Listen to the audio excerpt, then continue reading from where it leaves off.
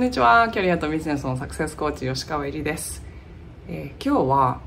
人生でなんかサクサクっといろんなことを成し遂げてる人とか大きいことを成し遂げてる人とそうじゃない人の違いが何かなっていうので最近ちょっと思ったことがあったのでそれをシェアしたいと思います、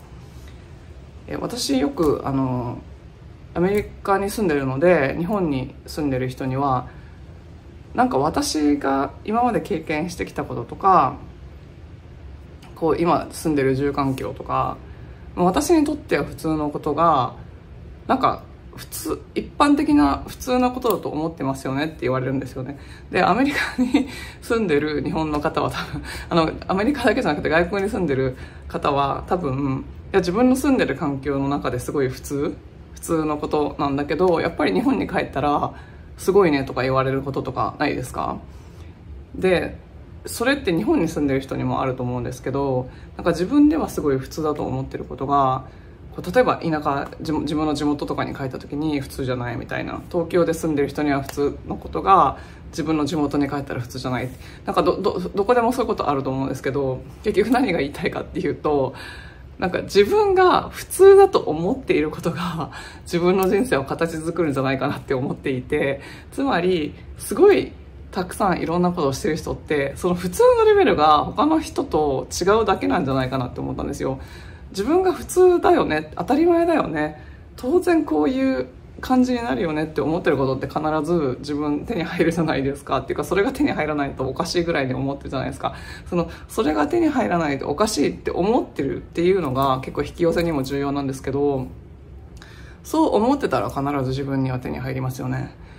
だから結局もっと何か別のことしたいなとかもっとこういろんな経験したいなとかもっと成長したいとかもっと大きいことをやってみたいとかまたはなんか今会社員で起業したいとか副業で何かしたいとかまあいろいろなんかあると思うんですよねやりたいなって思うことでもできないこと。それをやるためには自分が普通だと思っていることを一旦見直して自分の普通だと思ってることを格上げしていったらいいんじゃないかなって思ったんです。でそうやって考えてみた時にじゃあ今自分が普通だと思ってることは何か？っていうのがあってじゃあその自分が本当にこれやこうなったらいいなって思ってることをやってる人の普通は何か？っていうのを考えてその2つを比べたらいいと思うんですけどだから自分の普通をそのすでにやってる人の普通にアップデートしていったらいいと思うんですよ。でここでやっぱりそれ一人じゃできないなって思うことがあってそれは自分がもうすでにやってることをやってる人の普通っていうのがその人の話とか、まあ、本とかでもいいんですけどその考え方とかを聞いてみないと分かんないんですよね。そこがやっぱ一人でやるとすごい難しいのでそれが普通だと思ってる人の中に入るっていうのが大事だと思います、まあ、これがよく言われる自分の仲のいいお友達5人の平均の年収が自分の年収であるっていうことで 同じだと思うんですけどだから自分がもし今周りに自分がこうなったらいいなとかやりたいなっていうその普通を底上げするその基準っていうのが周りの目の前になかったらわからないのでやっぱりロールモデルっていうか自分が目指す人っていうのを探してきてできるだけその人に近い人がいるコミュニティに入るとか、まあ、その人の私とかだったら起業してみてやっぱよくわかんないんですよね。ずっとサラリーマンでやってきたから一体こうどういうスタンダードに自分を書き換えていったらいいのかっていうのがやっぱ最初わからなかったのでアメリカですごく有名な人がやってるビジネスの講座とかに申し込んでそこにいる人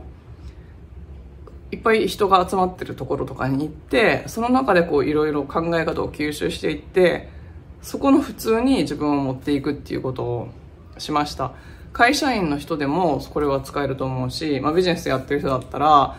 これくらいの年商になりたいなって思ったらやっぱりその年商になってる人のところに行ってその人の考え方っていうのを吸収していく。でそれを自分の中に取り入れて自分の普通にしていくっていうのがすごい大事かなと思います。で、この人生でできるだけ短い間にとか、できるだけなんか死ぬまでにいろんなことやりたいないろんな経験したいなって思ってる場合はその普通の